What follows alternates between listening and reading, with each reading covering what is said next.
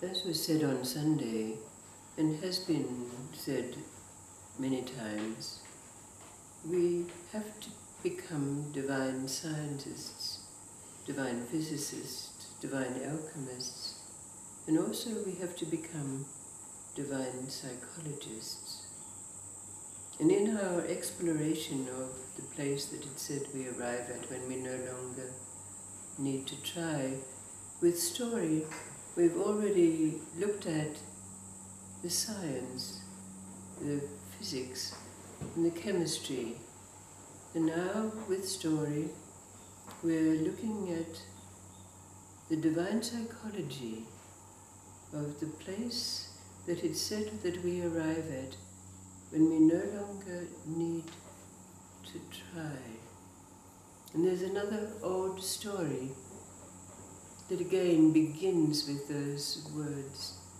In a time long ago, in a place far away, there was a small village.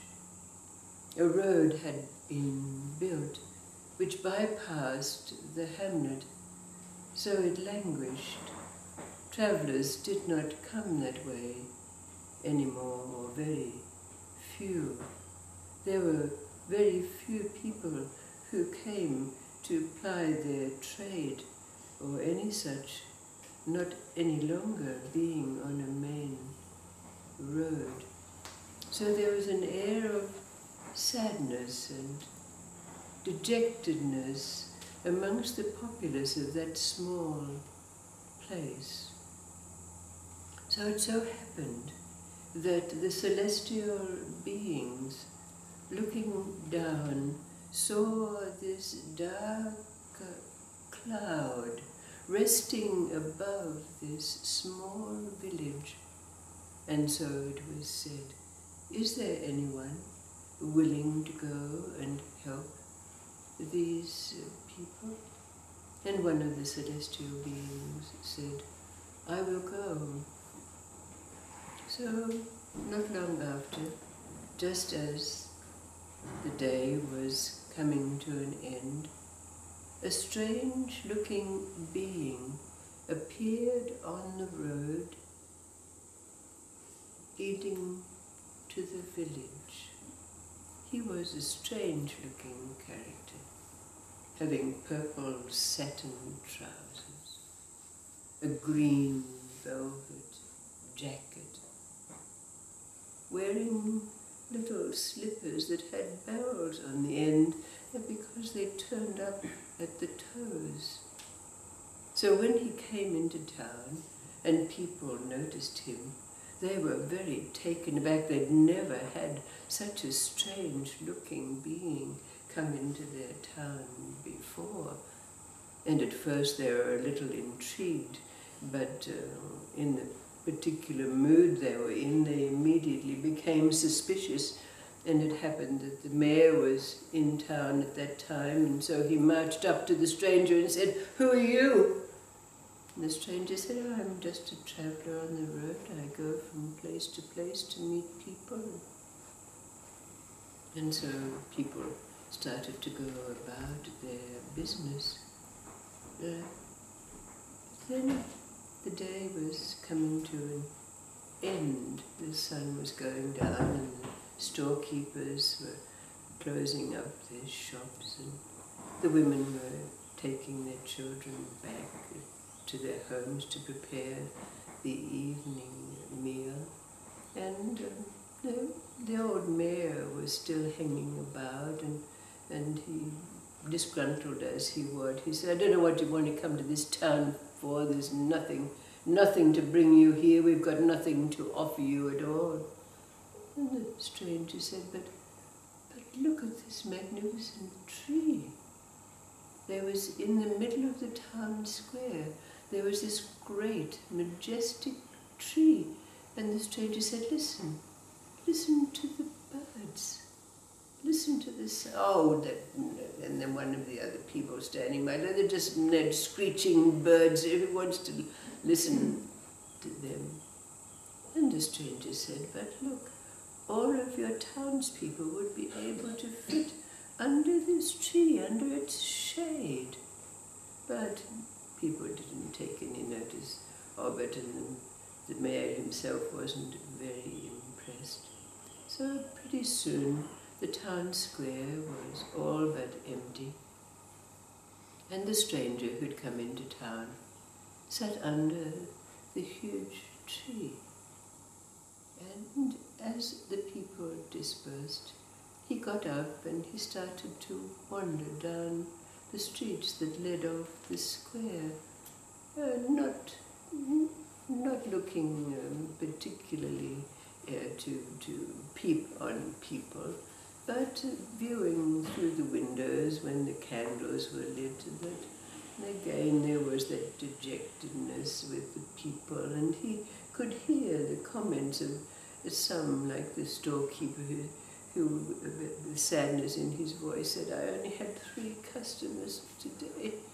And, and the woman who was complaining of her child, and so forth. He listened to the woes of the people as they shared them around their dinner table. But after some while, all the candles in the windows went out and the town was quiet. So the stranger went back to sit under the tree and he took out from a little satchel he had a flute and he began to play on this flute a melancholy tune, a sad. And it seemed that in the houses around the town, as people went off to sleep, they sighed in, as, this, as the weight of their problems weighed on them as they went into slumber. And the stranger continued to play on his flute this sound, sad and melancholy tune, and suddenly he went quiet, and all was quiet and still for a while, when suddenly, putting the flute to his lips again, he blew a loud and strident sound which pierced into the windows and under the doors of every house in that town and woke everybody up with a start. Up in their beds they sat, and putting on their clothes, they all trooped out into the town square. What was going on here? What was it and why were we woken up like this? So as they all gathered around, there the stranger stood and he quietly said to them, Give me your woes, give me your troubles, give me your burdens. And suddenly, there under the tree was a pile of rubble each of the beings unloading the pains that they had, taking different form. So at the feet of the being, under the tree, there was a pile of rubble.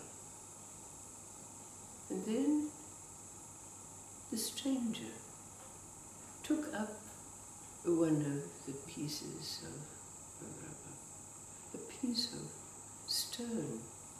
And he looked at the mayor. It was the mayor's stone. And he said to the mayor, Look, this is your responsibility. This is the pain of the responsibility you have as you pace every night, troubled by not being able to bring well-being to your people in your town. And then he squeezed the piece of stone in his hand. And when he opened his hand, there was a beautiful diamond with a piece of string. So he put it up on the tree, and people looked in wonder. And then he took another piece of slate and he turned to one of the storekeepers and he said, This is the pain of you not being able to provide enough food for your family day after day.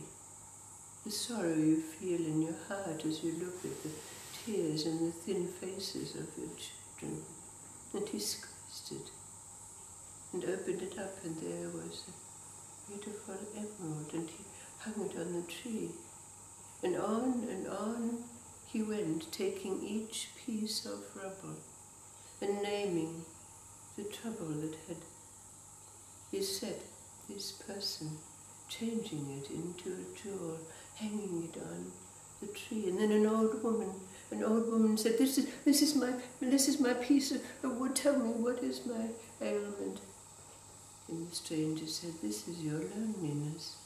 Since you lost your husband and your children have grown and you have no one, the weight of your loneliness." And he squeezed it, and it came out a beautiful ruby. He said, "You see." In your heart, you have so much love. There's so many children here who need to be embraced and loved. What a grandmother you are.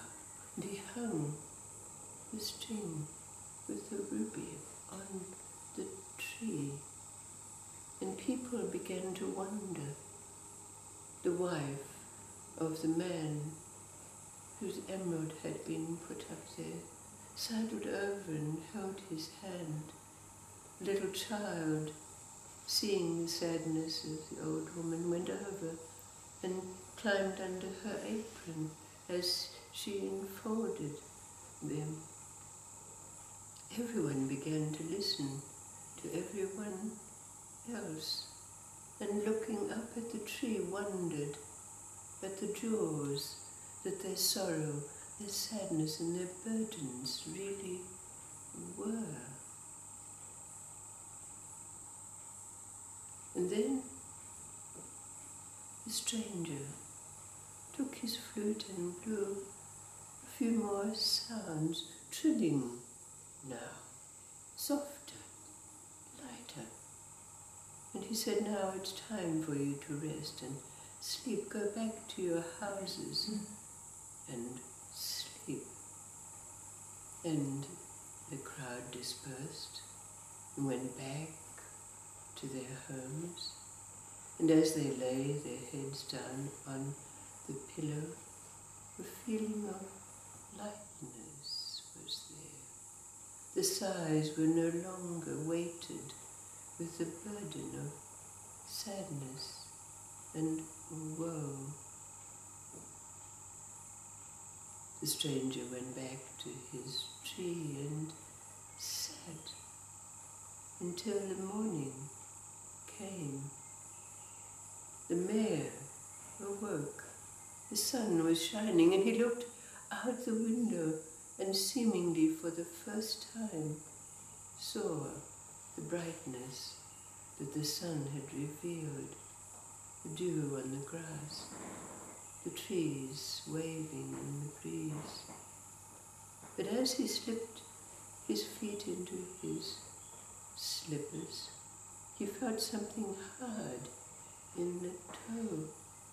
And when he looked, he took out the diamond that had been on the tree and saw that the sun was showing its facets, revealing them to him. And every other person in that town found their gem and began to recognize the qualities, what truly comes and is wrought out of burdens and sadness and sorrow and loss. Having done his work, the stranger quietly left the town and returned from whence he came.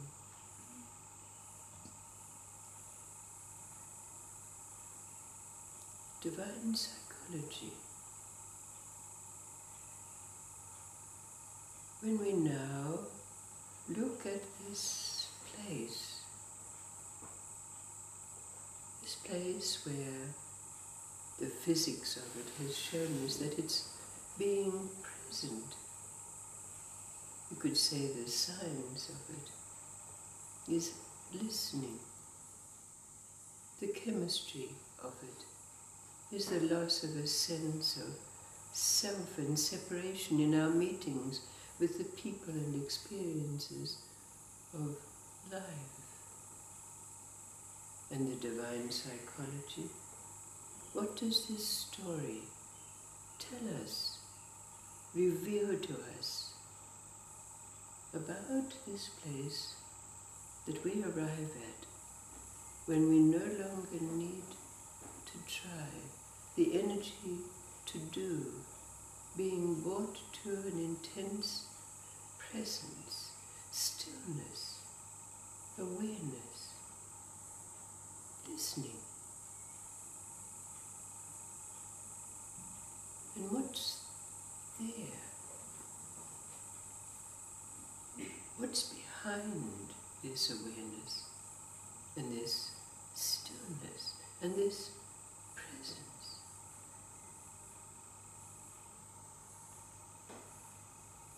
What does this story reveal to us about our relationship with life now when we no longer need to try?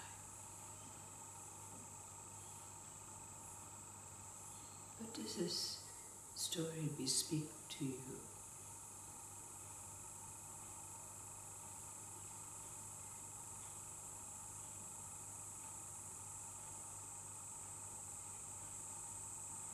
Presence, listening, oneness.